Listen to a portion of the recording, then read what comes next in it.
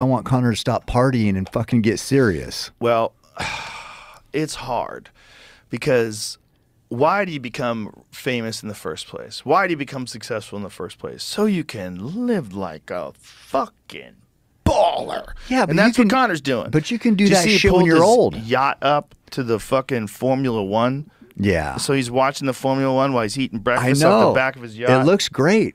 But fuck yeah, it does. but I mean, you got a shitload of money. You don't do that. I'm a different person than Conor McGregor. I know, but I have different motivations.